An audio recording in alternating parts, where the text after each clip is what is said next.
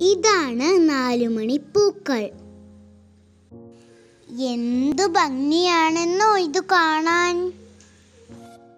ഇത് കണ്ടോ ഈ ഒരു ചെടിയിൽ നാലു തരം ഫ്ലവേഴ്സ് ഉണ്ട്. Yellow colour pink colour yellow ഫ്ലവേഴ്സിൽ pink dots ഉള്ള ഫ്ലവർ പിന്നെ യെല്ലോയും പിങ്കും മിക്സ് ആയ ഫ്ലവേഴ്സ്. ഇത് വൈകുന്നേരമാണ് വിരിയുക.